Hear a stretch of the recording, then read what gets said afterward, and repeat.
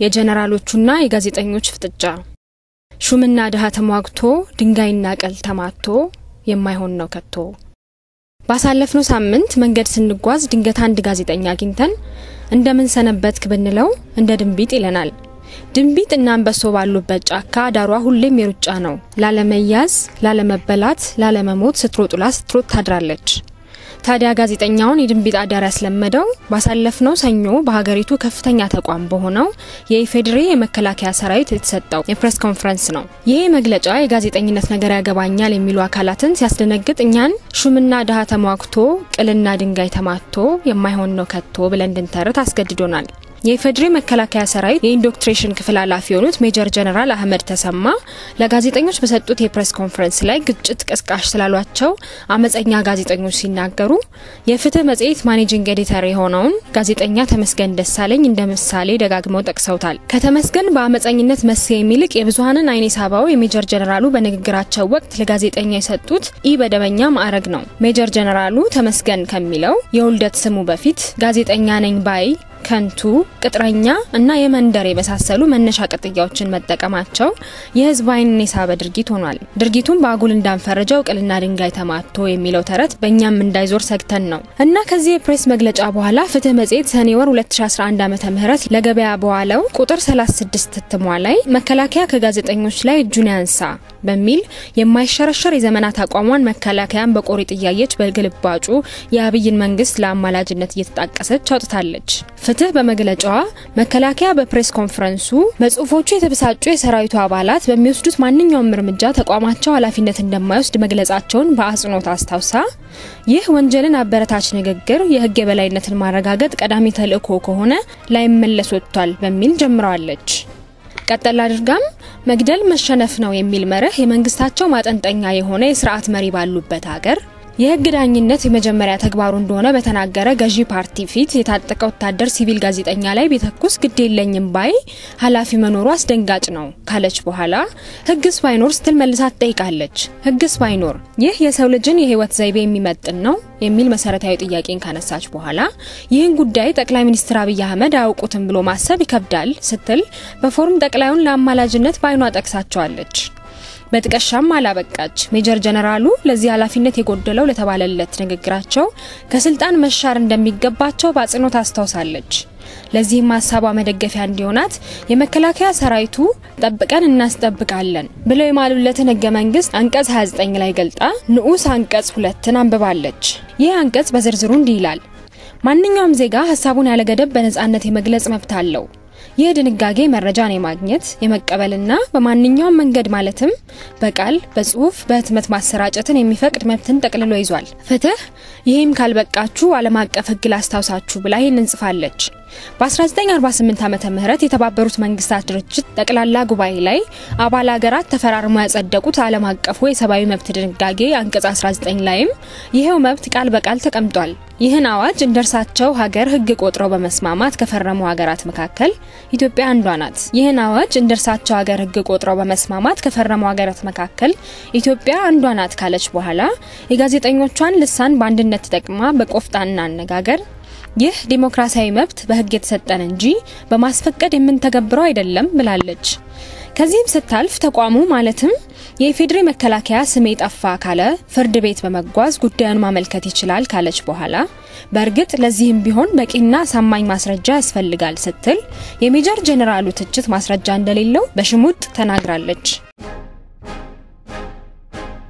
ፍትህ በመግለጫዋ በመጨረሻም የህግ የበላይነት እስኪከበር በህግ የሚዳኝ ስልጣን እስኪመጣ ድረስ ጥያቄው እንደማይቆም እናረጋግጣለን ስትል ሸብረብ ብላ የዕለት ስራዋን እንደምትቀጥል ወቁልኝ ብላለች። ውድ የኑሮ በዘዴ ተከታታዮች የጋዜጠኞቹና የጀኔራሎቹ ፍጥጫ ረግቦ ሀሳብ በጨዋ አንደበት የሚመላለስበት መንገድ እንዲፈጠር ምኞታችንን እየገለጽን ፍትህ መጽሔት በርዕስ አንቀጿ ከጻፈችው ባለ ስድስት አንቀጽ መግለጫ መካከል የመረጥንላችሁን ጥቂት አንቀጾች ሙሉ ቃል እንንገራችሁ። የህግ የበላይነት ማለት በጠመንጃ ማስገዛት ማለት አይደለም። ይህን ማረጋገጥ ሲባልም በጉልበት መርገጥ ሊሆን አይችልም። መግደል መሸነፍ ነው የሚል መርህ የመንግስታቸው ማጠንጠኛ የሆነ የስርዓት መሪ ባሉበት ሀገር የህግ ዳኝነት የመጀመሪያ ተግባሩ እንደሆነ በተናገረ ገዢ ፓርቲ ፊት የታጠቀ ወታደር ሲቪል ጋዜጠኛ ላይ ቢተኩስ ግድ የለኝም ባይ ኃላፊ መኖሩ አስደንጋጭ ነው። ህግስ ባይኖር ይህ የሰው ልጅን የህይወት ዘይቤ የሚመጥን ነው? ይህን ጉዳይ ጠቅላይ ሚኒስትር አብይ አህመድ አያውቁትም ለማለት ይከብዳል። የታሰሩ ጋዜጠኞችን ፈተው ዋናው አሸባሪ መንግስታቸው እንደነበር በተወካዮች ምክር ቤት ፊት መናገራቸው የሚታወስ ነው። የሰራዊቱ የ indoctrination ኃላፊ ግን በተቋማቸው አባላት ለሚወሰድ እርምጃ ተቋማቸው እንደማያገባው በመግለጽ ሽብርን ሲያበረታቱ በአደባባይ ተሰምተዋል። ጠቅላይ ሚኒስትሩ በዚህ ጉዳይ እስካሁን ያሉት ነገር እንዳለ ባይገለጽም በዝምታ ካለፉት ግን ለተናጋሪው ይሁንታ እንደሰጡ መቆጠሩ አይቀሬ ነው። ኢትዮጵያ በዓለም የፕሬስ ነጻነትን ካሻሻሉ ጥቂት ሀገራት መካከል ተጠቅሳ ከተወሰደች ገና ሁለተኛ ወሯ ነው። የዓለም የፕሬስ ቀንን ለማክበር በአዲስ አበባ በተሰባሰቡት ዓለም አቀፍ ተቋማትና ጋዜጠኞችም ጠቅላይ ሚኒስትር አብይ አህመድን አውድሰው ነበር። ከሰሞኑ የሚታየው ጋዜጠኞችን የማሰርና የማሸማቀቅ ዜና ግን እነኚሁ ተቋማት እንዲሰጉ አድርጓቸዋል። ሕግን ተከትለውና ሙያቸውን አክብረው የሚሰሩ ጋዜጠኞች ላይ የሽብር ክስ ተመስርቷል። ጋዜጠኛ በሪሁን አዳነና ጋዜጠኛ ኤልያስ ገብሩ ከሰለባዎቹ መካከል ይጠቀሳሉ።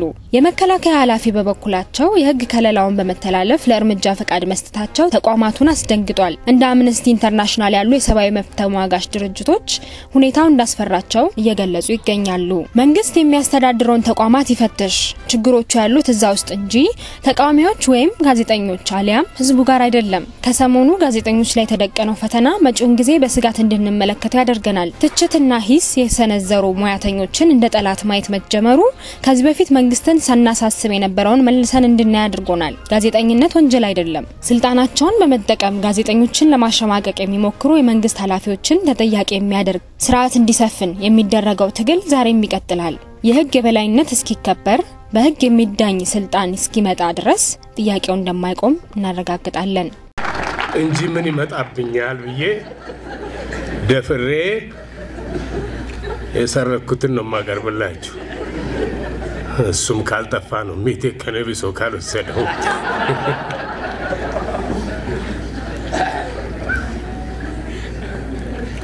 የሚገርማችሁ ነው እኔ ፌስቡክን ስመለከት ይሄ ትንንሹን ይሄ ፖለቲካ ማንቋሸሹን ምን ማለቱን ስድቡን አይደለም የማየው እኔን የሚያስቀኝን ነገር ነው የምፈልገው።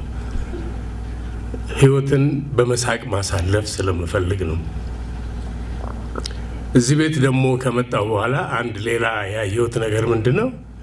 እዚህ የተሰበሰባችሁት በሙሉ የጭብጨባ ስስታሞች ናቸው እና ጭብጨባችንን ሜቴክ ወስዶት ይሆን ብዬ ጌትነትን ጠየኩትና ማን ያውቃል አለኝ።